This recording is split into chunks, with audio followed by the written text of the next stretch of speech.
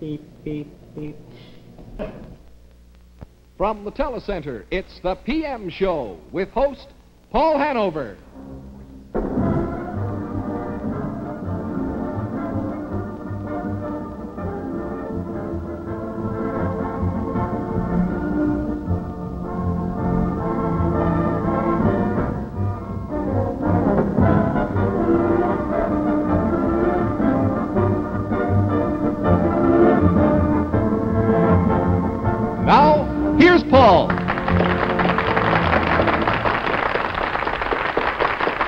Thank you. We got the everything's coming up noses bit again, eh, Joe? Well, welcome to chapter two of the Summer Doldrums. And I certainly would like to start out by thanking the many, many hundreds of people who greeted my first appearance last night with indifference. no comment. They said no news is good news. Actually, he did enjoy it very much. Wound up with a terrible headache uh, after the show. Too bad it wasn't a toothache because we had the dentist here, but just my luck, I got the wrong disease with the wrong doctor around at the same time. While we were waiting to come on the show, I was uh, happened to be wandering around the telecenter here, and I noticed that this is the same studio that's used by Don Webster for his uh, Channel 11 dance party on Saturdays. And there were all the top songs listed for everybody to see. And I said, well, the songs are all right, the hit parade songs, but I think we've got the wrong people doing them. So I kind of realigned the hit parade. I'd like to give you my version of how the hit parade songs should be actually recorded. Of course, there's that uh, very cute novelty out today. I used to use in that greasy kid stuff. I think Yul Brynner should have done that one, personally. Roses Are Red, I'd like to see Nikita Khrushchev come out with the top record of that. Second-hand Love, well, you can almost look at the international headlines and put your own name in there. Uh, theme from Ben Casey, of course, T.C. Tommy Douglas would do a very fine job on that one. One of the newer ones on the way up is called Gravy. Uh, Vincent Feely and Jay McDermott on the OPP label might be able to carry that one off pretty good. Pick up the, pick up the pieces, of course, by Prime Minister John Diefenbaker, and Dream Big by our friend in Quebec, Réal Caouette. There we have our uh, top seven songs according to uh, my international hit parade. Well, enough of that. We uh, do have some interesting guests once again. Um, one from the United States, one international, and yet another from the Toronto and Canadian scene. They'll come along, but after uh, we have. Do I have this word, huh?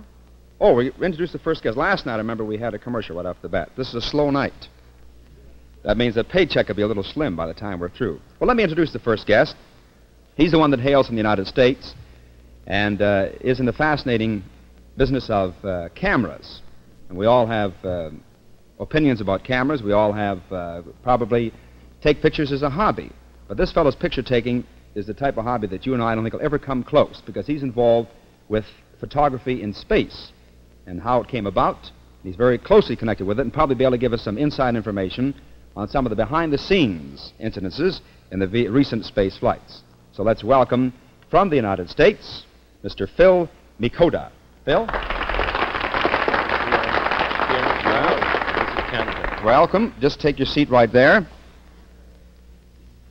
Did you bring a lot of American money with you? Well, I uh, brought all the money that the local uh, bistros in our area couldn't cash in. Couldn't so cash they in. saved their Canadian money and give it to me to bring back and redeem. Have you uh, had any? Arg- how many? Uh, how long have you been over here now? Well, since Sunday. Have you had any uh, arguments with the currency exchange? Or? No, I had gotten quite a discussion with a lady that had visited Baltimore once and was quite put out because the lady uh, that she uh, that was paying for an item in a drugstore refused to accept a Canadian penny, and we Oh. settled that in the usual way. You know, no usual- one won. Well, the, um, the the project you hear on now is for the company you work for, and I think we may as well mention that. It's a renowned firm called Ansco. What does Ansco mean once we've stretched it out? Well, Ansco uh, is Anthony and Scovill Company, is the way the name came about, D-A-N and the S-C-O Mhm. from the Scovill bit. We've been manufacturing photographic products before our, all of our times combined back in 1842. You don't go back that far. No, No, all of us combined might, probably ages that is. I. I know our makeup girl is good. I didn't think she was that good. Though.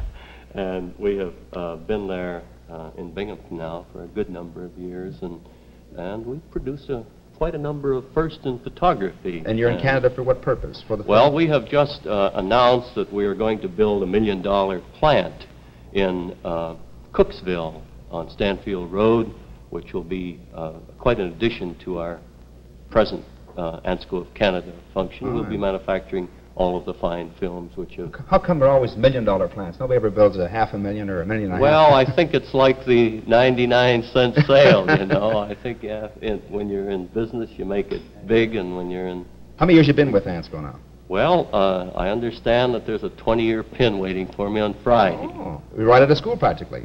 Well, yes, I. What school did you attend? Well, I went to Rochester Institute. I couldn't get into a banking school, which I'd rather go to. I wanted to know about money, you know. This is the time to know about it. yes. You went to I- I- Rochester? yes, Rochester Institute. What a rebel. Rochester Institute, and he works for Ansco. How'd you ever get away with that? Well, it's very simple. At that time, I uh, found that uh, I could get three dollars more at Ansco than I could from any other photographic About firm. Imagine- per week. That is. Per week. Imagine how they felt in Rochester. He deserted us for $3 a week. Well, we enjoy the competition that it has afforded us. You've uh, worked your way up to, I think it says public relations. What does this actually involve now, Phil? Well, uh, we are not uh, enormous in that we don't have every individual in our organization slotted for a specific job. So I am primarily concerned with uh, public relations, but in addition, I sort of serve as Ansco historian. And, and the most fascinating thing, of course, is to get the free trip to Cape Canaveral every time there's a liftoff. And this is, of course, your, your firm has got. I look after the space photography end of our company's business. they got sort of the, the tie in there. And, Well, we uh, we are quite proud of our first. Uh, we the first film to record the behavior of an astronaut in space was a very fine high-speed Anscochrome of ours, and we recorded the monkey Enos Mhm. and, and allowed him to use some of our film and take some pictures too, and then uh, we were very very pleased when Colonel Glenn's uh, requirement, and incidentally, you'd be interested to know that the uh, the pilot, the, the astronaut, uh, if and when he decides to take on special assignments over and above uh, those that are required Mhm. by his uh, leaders, he has a choice in an the option, matter. right? He says that this is what I want. Well, Colonel Glenn said he wants an automatic camera. He does not want to be bothered with the decisions that have to be made in camera. taking. in camera and picture taking. Well, the era of automation helped us, and out of the, about a field of 25 automatic cameras, we were quite pleased that the Ansco Auto Set was selected for use. Is this it here? Yes, uh, this camera is a, a replica. The grip, of course, was put on to permit him to hold it. His requirement was that the camera permit him to operate the film advance Mhm. with his left uh, uh, hand and also to trip the shutter, you see, It's all in one operation. He can all in one. flip the picture and snap at the same time. The most amazing part of this was that he had to, with gloved hands, open up this camera With gloved hands. and load it with 35 millimeter film, which is a narrow little wedge like that. But he did it successfully, and out of the 72 pictures which he actually made, and you will recall one of the rolls got away and fell behind the Oh, the- instrument Mhm. panel. Out of the 72 that he took, we have about 38 of them here, along with some other scenes, sort of background to space and space photography. and we'll be able to see these now. Yes. As a matter of fact, um, Phil brought along uh, a, a slide uh, projector. Uh, this is my must uh, must be my week for slides and showing pictures. We had the dentist on last night. I was holding up pictures of various uh, dental problems. Oh, that's really? right. Photographs I- I- that's right. Wonderful. And I don't have to uh, hold the pictures up here, do I? No, you You'll don't. show these. We'll, we'll do Well, while we're talking about pictures, I get the cue that uh, there's one coming to uh, Hamilton District that uh, is quite fascinating, and we'll get the story of that right now. And that was uh, our musical group for the evening, Matt Kennedy and his White House Trio. no relation, though. Playing Flying Down to Rio, dedicated Eddie Gilbert. Anybody understands financial news these days. There's a lot of piano. That fella gets his money's worth out of a piano, I must say. And I was um, commenting earlier here when we saw the Hatari announcement. A lot of us were invited to meet the cast of Hatari. They were in Toronto yesterday, as a matter of fact. There was Red Buttons, Elsa Martinelli, uh, Bruce Cabot, or Cabot, whatever it is, and the, the star John Wayne. They came Monday, and I was mentioning this the other day that I don't know why they came to Toronto because John Wayne was in the Toronto district five times on Saturday. I was checking the movies Saturday night, and there was five movies playing. He was in four of them. Um, John Wayne. As a matter of fact, he won the war in three of them. and he just missing, I think uh, Randolph Scott beat him out in winning the war in the other one. Uh, you uh, have an unusual, uh, now just notice the spelling, M-I-K-O-D-A, Phil. A name like that, you should have your own camera on the market. It's very uh, close to a camera brand name. Well, it would be interesting, and I won't mention the camera name. I prefer to mention Ansco, Like first that, with the yeah. finest. There's a very famous uh, Japanese uh, uh, Gilbert and Sullivan operator, very close. to Well, uh, I like to tell you just one little story. For years, the feed man in our area used to call on us and deliver grain and all, and uh, and he uh, never cared to ask my mother where father was. He worked nights, and one day he finally asked his children. We grew up to be 12. Your father Japanese? Or the name M-I-K-A-D-O. Well, let's get to these pictures, and uh, we'll just flick them as they go on. And as they go on the screen, you just tell us the story behind each one, would you. Phil? Off to Cape. Canaveral with Phil Mikoda and his camera. uh, quite most of us are always concerned about uh, space uh, cadets, so to speak, astronauts in space outfits. I thought perhaps your Canadian audience and those on the border of the states would like to see what astronauts look like. You know, they're people. Behind the And scenes, eh? This is this is how they look in their various training they are. courses. They're there on a Uh, coffee break like the Here rest you of us. have uh, uh, Commander Shepard, you have Grissom, and you have Carpenter in that order, and Glenn with his back to the camera. Here is another view of them, just discussing their plans. This was just prior to the Grissom flight. Grissom at this point knew pretty well that he was underway. Here's, of course, our first suborbital astronaut, Commander Shepard, in an attaché case like any traveler carries. It was lunch. And here again, you see uh, the uh, backup pilot uh, for Colonel Glenn. Here's Colonel Glenn. He also has to drive himself around the wide expanse of Cape Canaveral. There's only one way of getting there, and that's by car Looks or like he's plane. looking. It looks like he's looking for the cold refreshment about there. Well, this could be. It's awfully Somebody warm forgot to bring the beer. uh, here he is with his friend Carpenter, and wonders what's going on. Here we have Grissom still trying to remain cool just before his orbital flight, suborbital that is. Here you have Dr. Voas, the crew cut boy, with his hand, uh, leg on the fire plug. He's the fellow who looks after the psychological problems of the astronaut. This is the front of Hangar S, and this capsule, which is the one that uh, Grissom will ride in, is being taken out to install on top of the uh, Redstone rocket. All nicely packaged and Yes, all wrapped, ready for Nice Christmas present for some young lad. And this is what the Mercury Redstone complex, so to speak, looks like at a distance. Uh, uh, the gantry standing there loud and clear. And I always get into them to turn in with my expense account. And here, of course, they're discussing rockets, I guess, and not fish.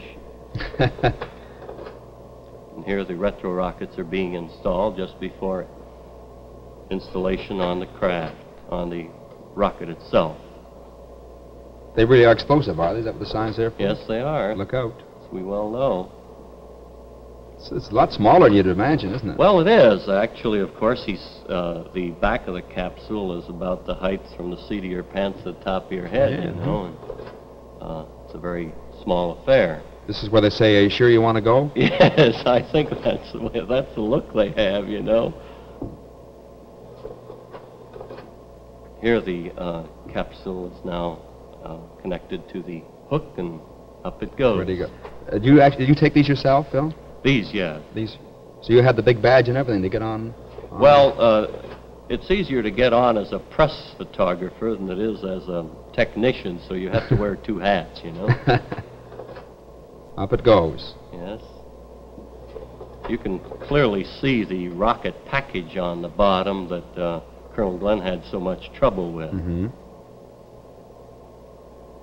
And we're just about ready to go into uh, the greenhouse. You see the greenhouse Mhm. there, and of course these are in uh, Ansco chrome, and it's difficult uh, to uh, imagine why people call this thing a greenhouse, but there it is. It's green, and it Mhm. looks like the plastic uh, awnings that you see around home. Right now, patio. That's his own little patio up there. That's right. The They um, great, uh, excuse me. Go ahead. They have great problems getting correct color rendition in the greenhouse because all the light is taken by color, by green Yeah. light, you see. And so they get a lot of green faces. We're seeing them in color, by the way. and The folks at home have to stick with the old way. But it's coming through quite well there in black and white.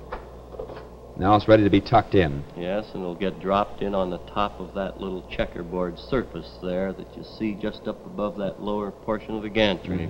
Is this uh, Colonel Glenn's? Uh... No, this is the one for Grissom. In Oh. a moment, we will be on Glenn. I didn't get any good before pictures on the Glenn, Glen. flight, and this I think is quite interesting to see what a tiny little thing this is that Mhm. goes 100 miles in the air. See, this is a Redstone rocket, but the same Mercury capsule that Glenn uh, rode in, same type, just a new number, serial number is the only difference. The doors are closed there, and it's all ashore that's going Yes. ashore, eh? Now uh, we are ready to go into the first manned orbital flight. This is now resting just a few feet off the ground, and actually it looks as if it's standing still at this point. How close And were you?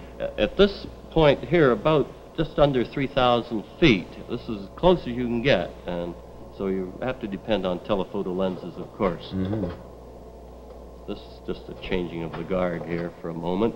This will give you some idea of how uh, extensive these uh, holdings are that we have down there with the gantry cranes and all. Um, this is the same rocket. Of course, the very first thing that the suborbital pilot or uh, Glenn would see would be this coastline of Florida, the east coast with the Atlantic and the clouds underneath. And it's very clearly visible to you. You can see the hump. Miami would be right about where that little square is in the lower left corner. There's somebody sending a message. Send money fast. Yes. Recognize Miami immediately. And the first thing you know, all you see is this puff of clouds uh, in the sky. How high up would we be with that shot?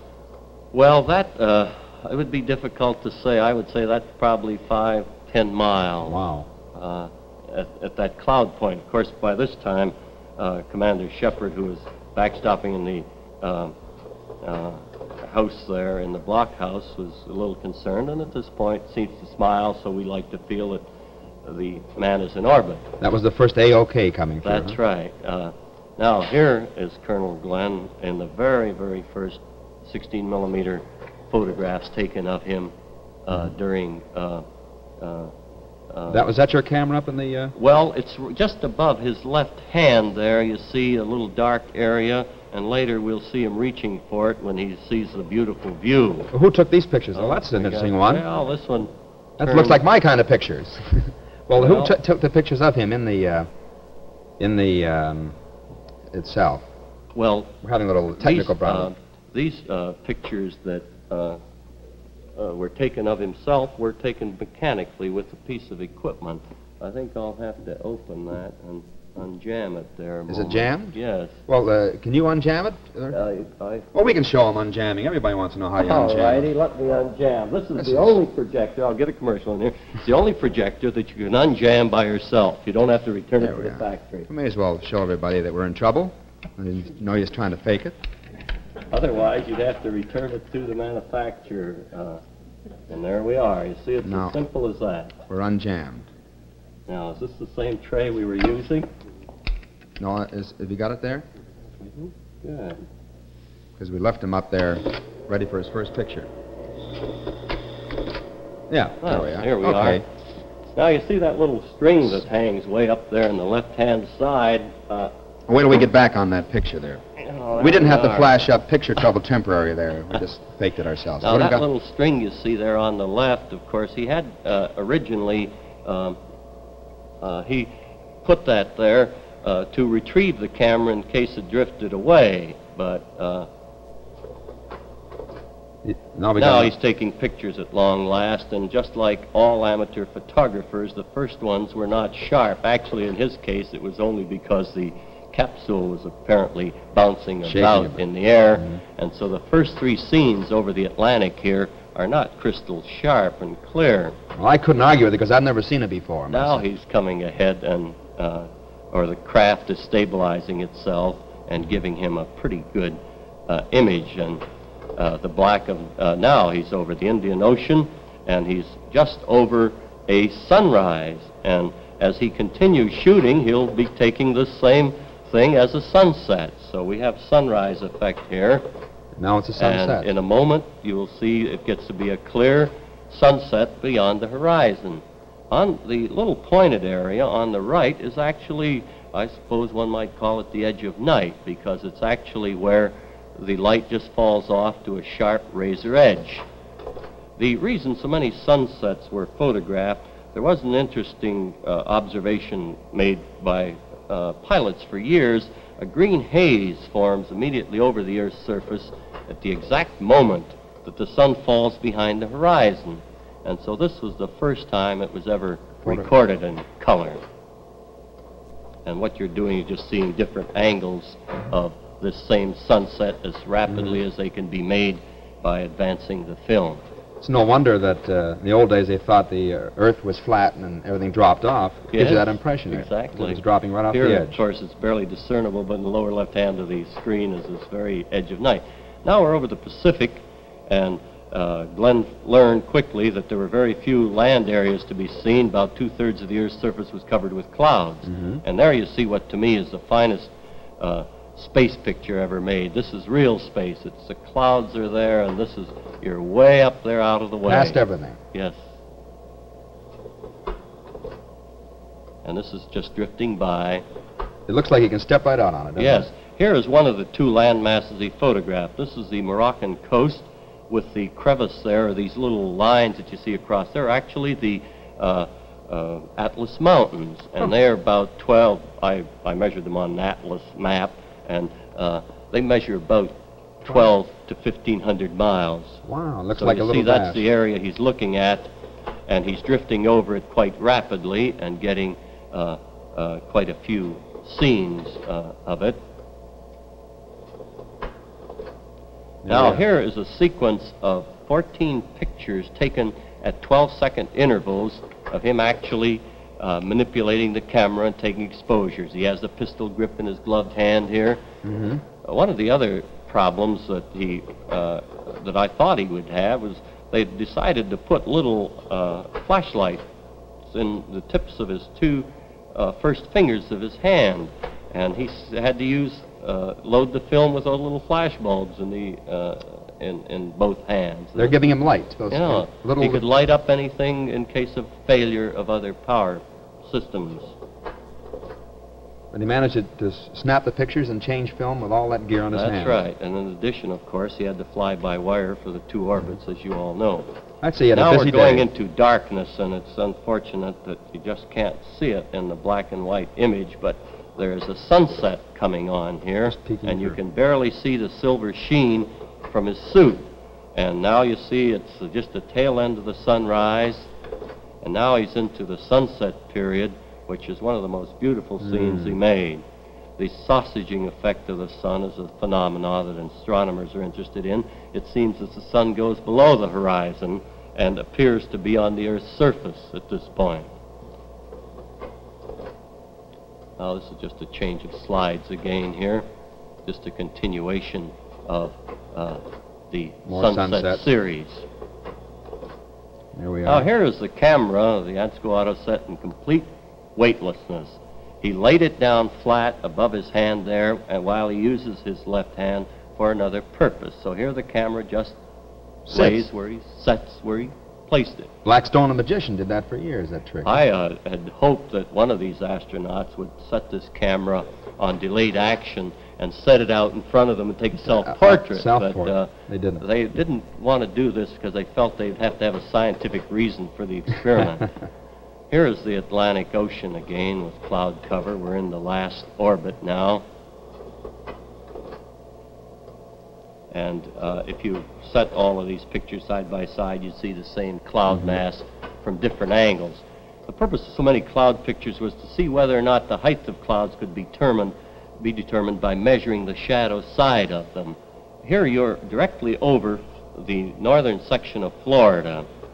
And uh, here you can see the Atlantic Ocean in the foreground and a bit of the Gulf of uh, Mexico in the upper left-hand side. Now this is another pass across uh, at a lower angle, and you really begin to See land. uh, what 160 miles of Earth looks like from 100 miles in the air. That's about how wide it is. And of course, this is the real beautiful view, the final parachute just before you drop in water. And this is, of course, why he exclaimed. And as soon as you are this successful, you report to your leader, our leader, and uh, uh, and this is about the end of this series of slides, but it'll give you some idea of the wonderful things that are going on in space. Does Colonel Glenn have a copy of all these himself?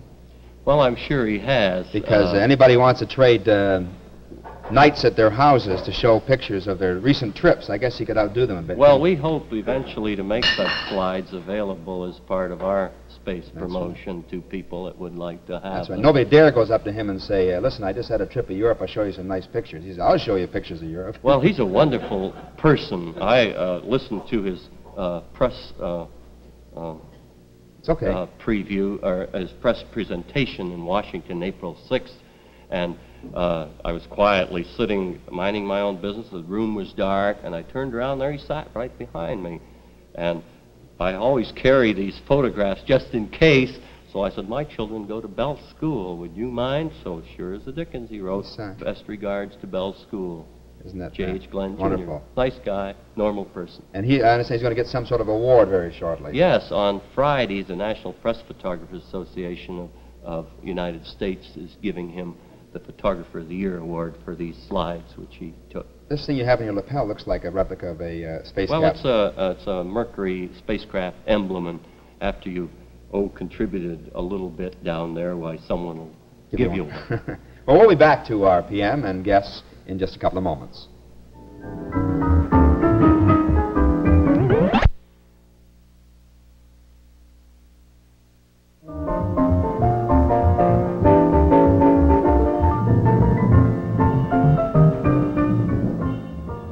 It's the second part of PM, and here's Paul Hanover. As they say, time for a change of pace. Thank you.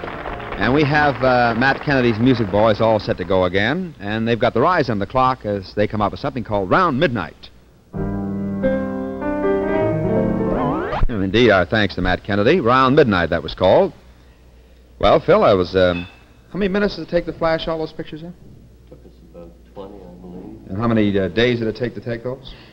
Well, it took uh, him only what three orbits, a couple hours Yeah. and a half. Are you going to go back again, you think, to Cape Canaveral? Why I go down on the 15th again and see who the next pilot is and what his requirements are. You hope to convince him to stick to the same product, huh? Well, uh, I think uh, that when they look at these, the uniformity of these pictures, they're convinced. That, What's that you have in your hand there? well, this is a little souvenir of uh, Commander Shepard's flight, which was recorded on our film, and I usually like to give those to people who have children. If you have more than one child, I'll be very happy to give you more. What is it?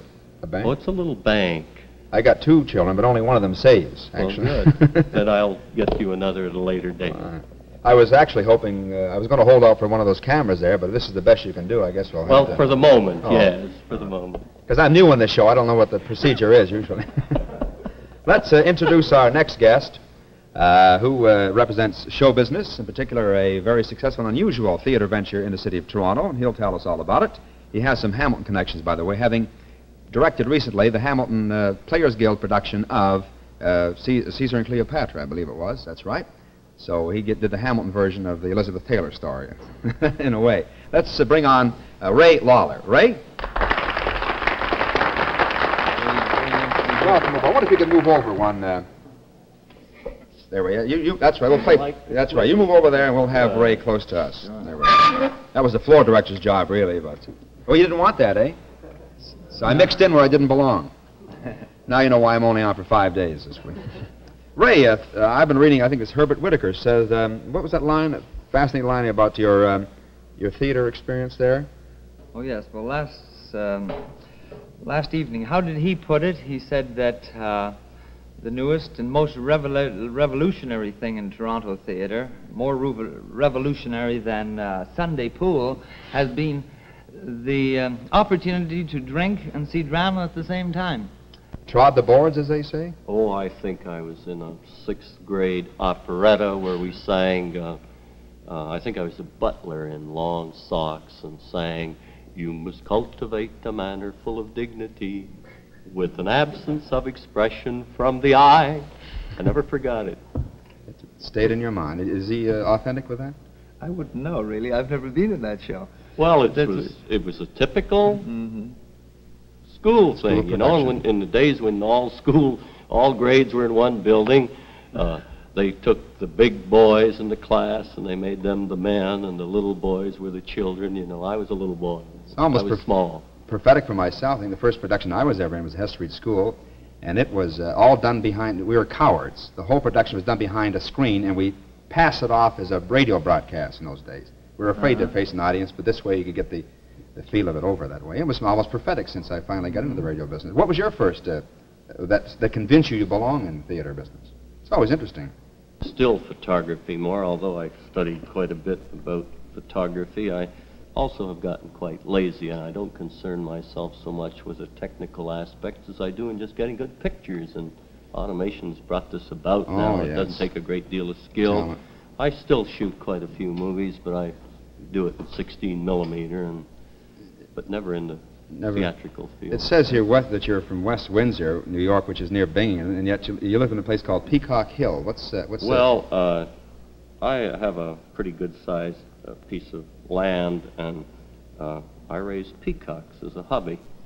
And Wow. uh, I think you should serve peacock in your Dell Tavern? Dell Tavern. You mean that the people, these beautiful birds with Yes, all that uh, NBC uh, hires, about about a million? Well, they never allow me to mention this on an NBC program, but uh, because this is not nice to eat pretty peacocks. But you don't eat them when they're pretty. What you do with them, if you run them, you know, if they have a tail that long, and you run over them with a car, Thank you you. cook them and throw them away because they're too old. But if you uh, uh, dress them out when they're about 10, 12 months old, and if you season them properly and, and good recipes which we use, they make quite a delightful experience, and particularly in New York where people are all uh, Gourmet? One, you know, they're, they're quite conscious about it. So once a year we have the annual Ansco Peacock Dinner, and uh, we serve uh, oh 10 to 12 lovely oven-ready birds. I ship them to um, a restaurant there. They prepare, Prepare them. them, and we have a ball. Do you uh, raise these commercially? I mean, uh, Well, yes, uh, we have a freezer full all the time. We, you know, you can't do business from an empty wagon. So, well, so- Victor, Borge, I know, was big on Cornish hens. I never ever thought that peacocks were done. Uh, well, uh, we at one year uh, were unable to sell them all as fancy for the backyard, you know. So we had to do something with the surplus. So we well, tried whoever, eating them. whoever tipped you off uh, that that peacocks could be? Well, I think that just because they have the, they are pheasants. Oh, They are as stupid as turkeys, so they can only taste like one or the other. They eat grain. In other words, uh, they're being s- as beautiful as they are. They're like all beautiful creatures. They're dumb.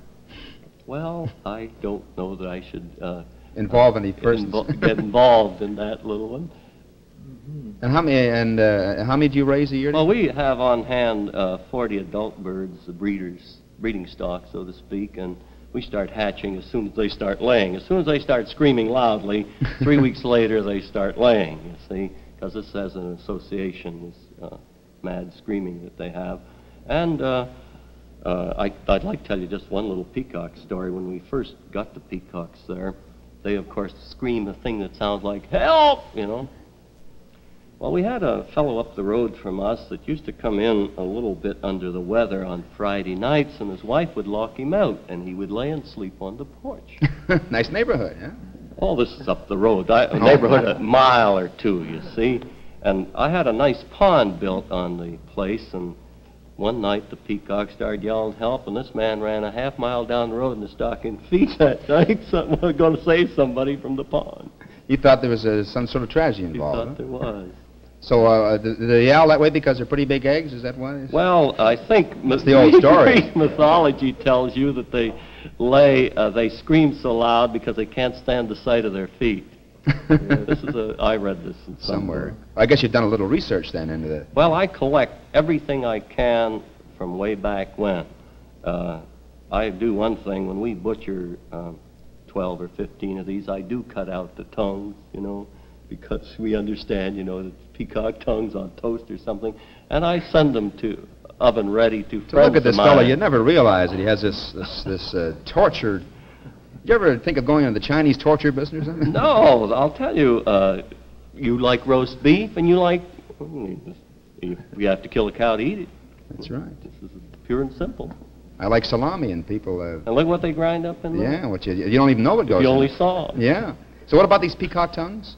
Well, they, of course, uh, we dug up an old recipe somewhere out of the deep, dark Roman past, you know, and and prepare them for. T- and I send the recipe with these little tongues. It's quite exciting to the man on the other end.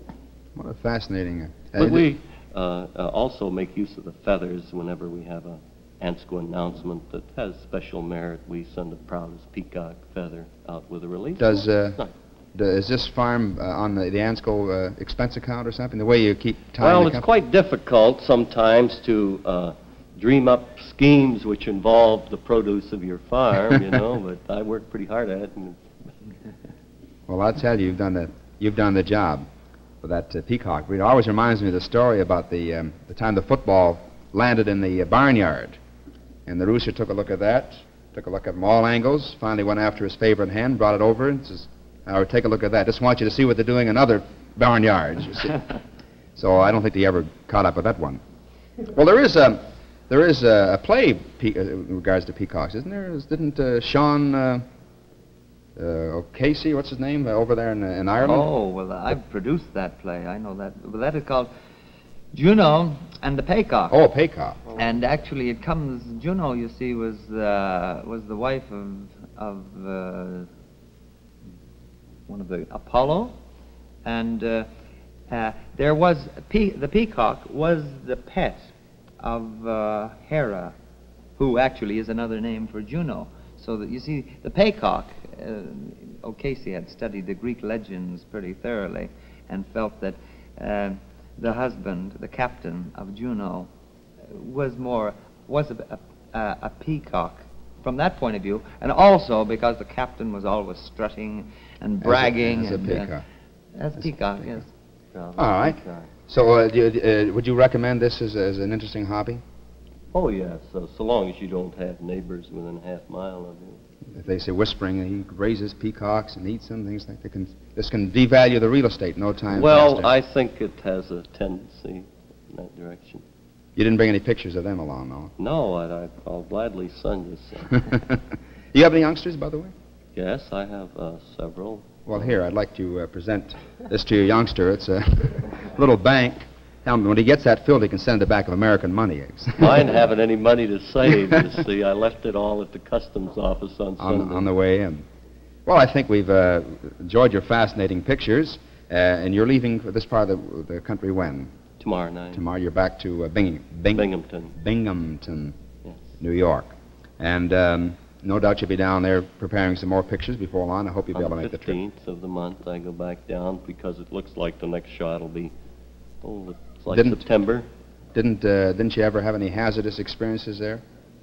Well, uh, no, uh, it gets kind of monotonous sitting there all the time as it gets real hot this time of the year That's down there, but no hazardous experiences. I, uh, I've got so I'm a sort of a commuter there. You know, I take pictures of clouds from jet flights going back and forth, and uh, I always ride tourist uh, because it's the only difference is you get uh, cold scrambled eggs and tourists you get warm in first class. But in taking these cloud pictures, I uh, also am, am able to show these to the Other- astronauts. people. What about, um, uh, because you've been there so often, do you have a chance to make application to take a trip up there someday? No, but I'd sure like to get an ANSCO release in one of those. Go up there, Just huh? once. Well, uh, I hope that our show got into orbit uh, this evening. On PM, our guests from the United States, Phil Mikoda, and from Theater in the Dell in Toronto, we have uh, Ray Lawler. And uh, that's all from Paul on PM. Good night.